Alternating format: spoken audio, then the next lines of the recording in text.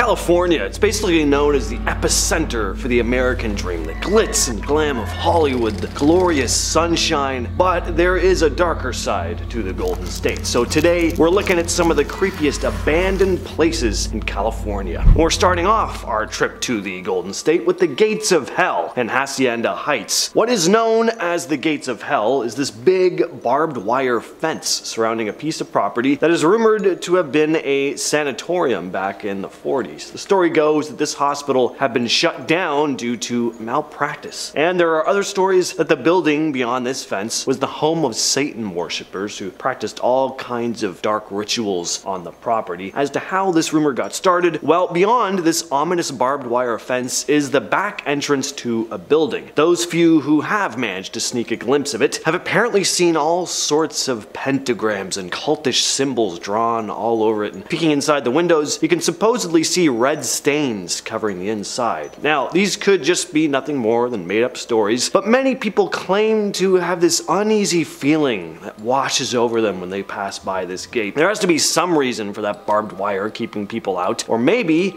it's there to keep something in. Don't forget to like, comment, and subscribe. By the way, we have awesome content coming your way on the daily. Alright, the notorious Bohemian Grove. Bohemian Grove is a private campground located in Monte Rio, California. It's known for hosting an annual invite-only retreat for members of the Bohemian Club, a private men's club that only allows highfalutin men from fields in politics, business, and the arts. Now, the area isn't always closed off to the public, just when this annual gathering takes place. And what goes on in these gatherings at Bohemian Grove is incredibly secretive. And there are very strict rules in place for members about maintaining this secrecy. The most famous event at Bohemian Grove is said to be the cremation of care ceremony, which is a symbolic ritual performed in front of a large owl-shaped statue. Nobody, other than the members, of course, know what this ritual entails. But you have a bunch of powerful people meeting in the middle of the woods in secret performing ceremonies. No surprise why most people on the outside find this incredibly suspect. I don't know.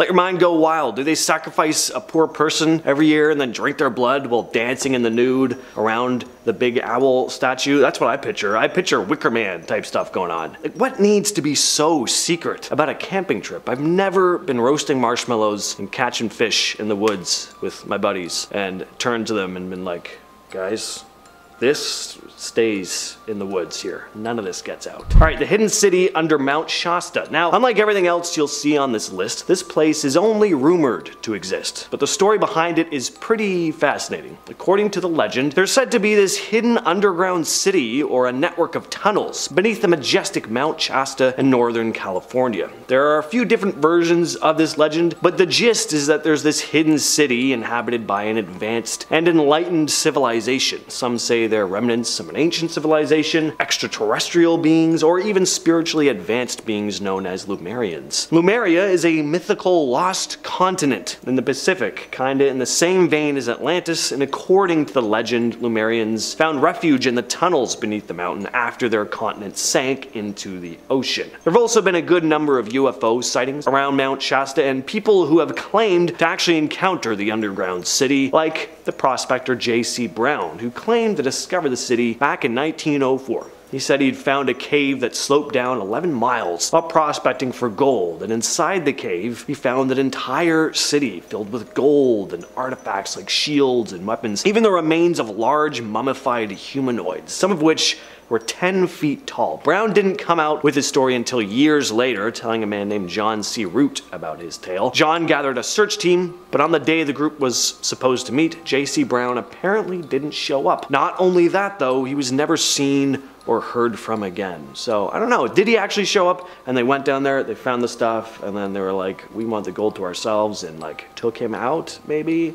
Who knows? Next on the list is Año Nuevo Island. This place hasn't always been an island. It used to be connected to the mainland through a narrow strip of land that acted as a bridge, but water levels rose, eventually cutting it off. All that sits on this piece of land now are a handful of abandoned buildings and the residence which used to be the home of a lighthouse keeper. The lighthouse is gone now, but the keeper is said to still linger in the afterlife. Anyway. The island is completely abandoned and off limits, now a protected wildlife preserve, home to seals and sea lions, but some say but on certain nights, they've seen the windows of the old lighthouse keeper's home light up as if someone or something still looms over the island, keeping watch. In the LA suburb of Downey sits a fenced off, boarded up set of homes and buildings known as the Old LA County Poor Farm. The history of this place dates back to 1887 when the LA County Board of Supervisors decided to create a facility for the homeless. They bought 124 acres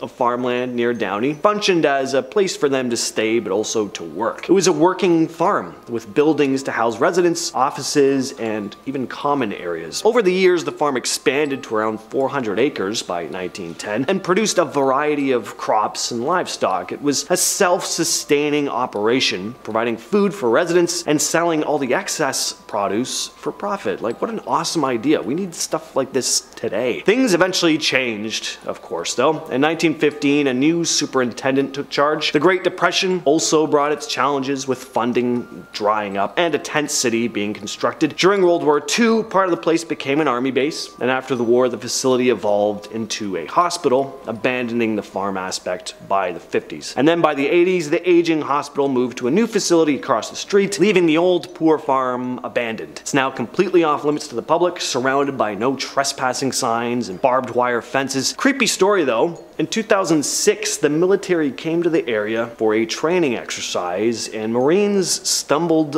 upon a freezer containing tons of mummified body parts, likely from the hospital, but that's still really creepy. The Point Sur Lighthouse is surrounded by ghostly tales. It was constructed in 1889, helping to navigate vessels along the Big Sur coastline. One tale about this place is that the original lighthouse keeper continues to watch over the tower till this day. Future keepers have had the creepy experience of being all alone in the tower at night, only to hear labored footsteps ascending the stairs and the sounds of huffs and puffs coming from the stairs. But when they've called out to ask who's there or to go and look, the stairway is completely empty. There are also stories about a woman in a vintage dress wandering near the lighthouse, and some say she's the spirit of woman who died in a shipwreck. Next on the list is the Lincoln Heights Jail. This was a pretty notorious jail. Big names like Al Capone used to be housed here. The jail has been around since 1931. It was originally constructed to hold about 625 prisoners, but by the 50s it was packing at about 2,800 folks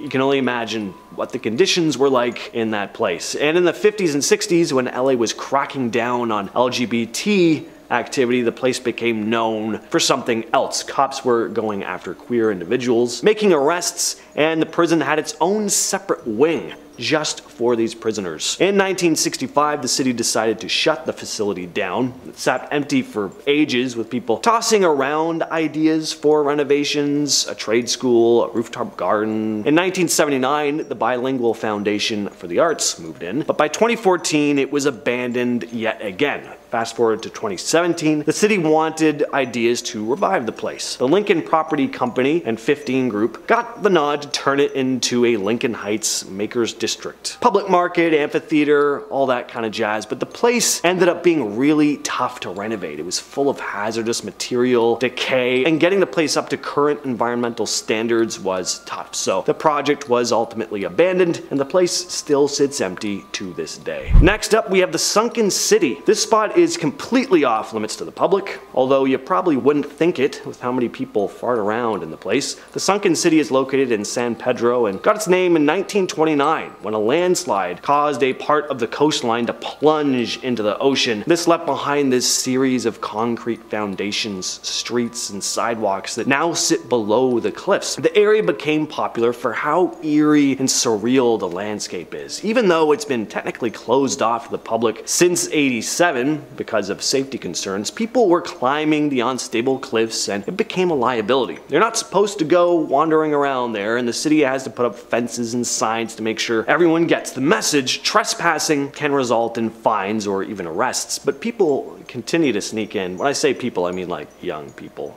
let's be real. It looks beautiful though. There's palm trees, really cool looking graffiti. I get why people would want to check it out, but apparently it can be pretty dangerous. Forget the fines, people often get mugged here or worse. Let's talk about Murphy Ranch, sitting in the hills near Los Angeles. So back in the 30s, a couple with some pretty unconventional ideas decided to build a self-sufficient compound there. And by unconventional ideas, I mean, they were incredibly anti Semitic. They thought the world was headed for some major chaos, and seeing as World War II was looming, kinda was, so they built this compound, which ended up becoming something of a base for American Third Reich sympathizers during the Second World War. The compound had living quarters, a power station, and even a water storage system. It was a haven for them and uh, other like minded pricks, but the US government got wind of it and shut it down in 1941, the day after the Japanese attack on Pearl Harbor. The remains of Murphy Ranch now sit completely abandoned and completely off limits. Old dilapidated buildings and graffiti covered walls are all that remain. Yes, graffiti, people still do sneak in.